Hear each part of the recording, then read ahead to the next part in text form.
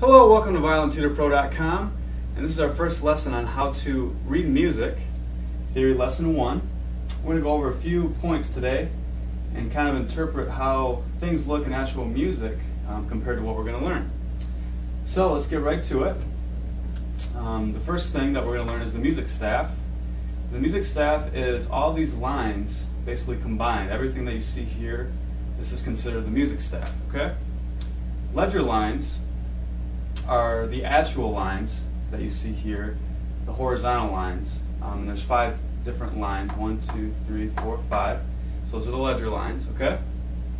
Treble clef is what we uh, play in music in, with violin. There's different clefs for different instruments, and the highest clef that you will see in any music is the treble clef, which is this kind of unique sign right here.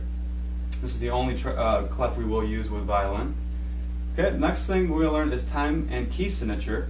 Okay, and key signature is this little sharp sign right here, and we'll learn more about what that means later on.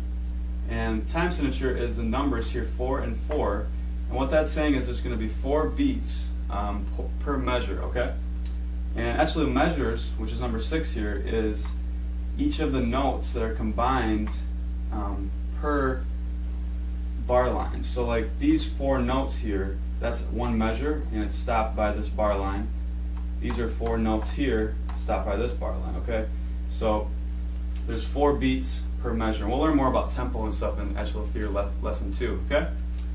Next concept, we just learned the bar lines. So number seven is the double bar, and that's just two bar lines instead of just one, okay? And typically what that's going to do is, uh, is the end of music is going to be stopped by a double bar, okay? Number eight is quarter notes. And that's what you see here, with these little um, little circles with the stems. Those are quarter notes, and each of these are going to get one beat, one clap, okay? So that's all we're going to do for now as far as the rhythm goes. Pretty simple. Everything gets the same amount of uh, count, okay? Number nine is quarter rest, and that's this little sign right here. And that's basically saying that you're not going to play at this point in the music, okay? So we're going to play six notes, and then the seventh beat, you're not going to play any note at all, okay? And then the eighth beat, you'll, you'll play a quarter note, okay? That's what that is. Number 10 is explaining to you what E, G, B, D, F is, and that is the uh, lines on um, the music staff. It actually represents every good boy deserves fudge. That's a good way to remember it. So the first line is an E, the second line is a G, B, D, and F, and that's an easy way to remember that, okay? Also, the next one is face, and that's the spaces on um, the music staff. So we have F, A, C, E, and obviously you can just remember that from face, okay? Awesome. Next thing is pizz, which is pizzicato, and that's actually what we will learn in lesson one. And in music, you'll just see it spelled out P-I-Z-Z is pizz, okay? And that's when we're going to do pizzicato, which we'll learn in the next lesson, okay? Number 13 is arco, which is playing with the bow. Okay, so pizzicato you can probably guess is not playing with the bow, it's playing with your finger. Okay, awesome. And the last thing I want to kind of introduce is this is the way that the actual music that I'm going to write out and the lessons are going to look like.